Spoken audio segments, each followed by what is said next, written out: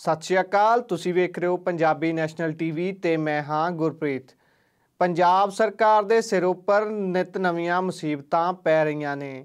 ਪੰਜਾਬ ਸਰਕਾਰ ਵੱਲੋਂ ਬੀਤੇ ਦਿਨੀ ਪਹਿਲੀ ਗਰੰਟੀ ਨੂੰ ਪੂਰੀ ਕਰਦਿਆਂ ਹੋਇਆਂ ਪੰਜਾਬੀਆਂ ਨੂੰ 300 ਯੂਨਿਟ ਫ੍ਰੀ ਬਿਜਲੀ ਦੇਣ ਦਾ ਐਲਾਨ ਕਰ ਦਿੱਤਾ ਗਿਆ ਸੀ। ਪਰ ਪੰਜਾਬ ਦੇ ਥਰਮਲ ਪਲਾਂਟਾਂ ਵਿੱਚ ਕੋਲੇ ਦੀ ਘਾਟ ਹੋਣ ਕਾਰਨ ਘੱਟ ਮੈਗਾਵਾਟ ਬਿਜਲੀ ਪੈਦਾ ਕਰਨ ਦੀ ਸਮੱਸਿਆ ਦਰਪੇਸ਼ ਹੈ। ਬੀਤੇ ਦਿਨੀ ਪੰਜਾਬ ਦੇ ਬਿਜਲੀ ਮੰਤਰੀ ਸ਼੍ਰੀ ਹਰਭਜਨ ਸਿੰਘ ਵੱਲੋਂ ਕੇਂਦਰੀ ਕੋਲਾ ਤੇ ਖਣਨ ਮੰਤਰੀ ਸ਼੍ਰੀ ਪ੍ਰਹਲਾਦ ਜੋਸ਼ੀ ਨਾਲ ਮੀਟਿੰਗ ਕੀਤੀ ਗਈ ਸੀ, ਜਿਸ ਵਿੱਚ ਉਹਨਾਂ ਨੇ ਕੋਲੇ ਦੇ ਮੁੱਦੇ ਤੇ ਉਹਨਾਂ ਨਾਲ ਗੱਲਬਾਤ ਕੀਤੀ। ਦੂਜੇ ਪਾਸੇ ਅਸੀਂ ਸਾਰੇ ਜਾਣਦੇ ਹਾਂ ਕਿ ਆਉਣ ਵਾਲੇ ਸਮੇਂ ਵਿੱਚ ਝੋਨੇ ਦੀ ਲਵਾਈ ਦਾ ਸੀਜ਼ਨ ਆਉਣ ਵਾਲਾ ਹੈ, ਜਿਸ ਨਾਲ ਕਿਸਾਨਾਂ ਨੂੰ ਵੀ ਭਾਰੀ ਬਿਜਲੀ ਦੀ ਲੋੜ ਹੋਵੇਗੀ ਅਤੇ ਵੱਡੇ ਵੱਡੇ ਕੱਟ ਲੱਗਣੇ ਸੁਭਾਵਿਕ ਨੇ।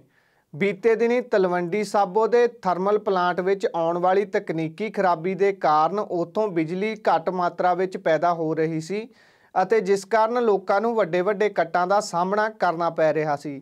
ਇੱਕ ਪਾਸੇ ਤਾਂ ਪੰਜਾਬ ਸਰਕਾਰ ਵੱਲੋਂ ਫ੍ਰੀ ਬਿਜਲੀ ਦੇਣ ਦੇ ਵਾਅਦੇ ਕੀਤੇ ਜਾ ਰਹੇ ਨੇ, ਦੂਜੇ ਪਾਸੇ ਪੰਜਾਬ ਕੋਲੇ ਦੀ ਘਾਟ ਦੇ ਸੰਕਟ ਨਾਲ ਜੂਝ ਰਿਹਾ ਹੈ। ਹੁਣ ਵੇਖਣਾ ਹੋਵੇਗਾ ਪੰਜਾਬ ਸਰਕਾਰ ਅੱਗੇ ਇਹ ਸਾਰੇ ਸੰਕਟ ਨੇ, ਇਸ ਨਾਲ ਪੰਜਾਬ ਸਰਕਾਰ ਕਿਵੇਂ ਨਜਿੱਠਦੀ ਹੈ। ਆਉਣ ਵਾਲੇ ਸਮੇਂ ਵਿੱਚ ਪੰਜਾਬ ਸਰਕਾਰ ਨੂੰ ਕੋਲੇ ਦੇ ਸੰਕਟ ਨੂੰ ਦੂਰ ਕਰਨਾ ਹੋਵੇਗਾ ਅਤੇ ਪੰਜਾਬੀਆਂ ਨਾਲ ਕੀਤਾ ਗਿਆ ਮੁਫਤ ਬਿਜਲੀ ਦੇ ਵਾਅਦੇ ਨੂੰ ਪੂਰੇ ਕਰਨ ਦਾ ਬੋਝ ਵੀ ਪੰਜਾਬ ਸਰਕਾਰ ਦੇ ਸਿਰ ਉੱਪਰ ਆ। ਦੂਜੇ ਪਾਸੇ ਵਿਰੋਧੀਆਂ ਵੱਲੋਂ ਪੰਜਾਬ ਸਰਕਾਰ ਉੱਪਰ, ਮਾਨ ਸਰਕਾਰ ਉੱਪਰ ਨਿਸ਼ਾਨੇ ਸਾਧੇ ਜਾ ਰਹੇ ਨੇ। ਹਰ ਪੰਜਾਬੀ ਨੂੰ ਮੁਫਤ ਬਿਜਲੀ ਦੇਣ ਦਾ ਵਾਅਦਾ ਕੀਤਾ ਗਿਆ ਸੀ, ਪਰ ਹੁਣ ਜਦੋਂ ਵਾਅਦਾ ਪੂਰਾ ਕਰਨ ਦਾ ਸਮਾਂ ਆਇਆ ਹੈ, ਤਾਂ ਐਲਾਨ ਤੋਂ ਬਾਅਦ ਉਹਨਾਂ ਦੇ ਵੱਲੋਂ ਖੁਲਾਸਾ ਕੀਤਾ ਗਿਆ ਹੈ ਕਿ ਹਰ ਕਿਸੇ ਲਈ ਇਹ ਬਿਜਲੀ ਮੁਫਤ ਨਹੀਂ ਹੋਵੇਗੀ। ਇਸ ਵਿੱਚ ਕੁਝ ਸ਼ਰਤਾਂ ਵੀ ਨੇ। ਇੱਕ ਪਾਸੇ ਥਰਮਲ ਪਲਾਂਟਾਂ ਵਿੱਚ ਕੋਲੇ ਦੀ ਘਾਟ, ਦੂਜੇ ਪਾਸੇ ਮੁਫਤ ਬਿਜਲੀ ਦੇਣ ਦਾ ਵਾਅਦਾ ਤੇ ਤੀਜੇ ਪਾਸੇ ਵਿਰੋਧੀਆਂ ਦੇ ਨਿਸ਼ਾਨੇ। ਅਸੀਂ ਵੇਖਦੇ ਹਾਂ ਕਿ ਪੰਜਾਬ ਸਰਕਾਰ ਇਹਨਾਂ ਸਾਰੀਆਂ ਚੁਣੌਤੀਆਂ ਨਾਲ ਕਿਵੇਂ ਨਜਿੱਠਦੀ ਹੈ।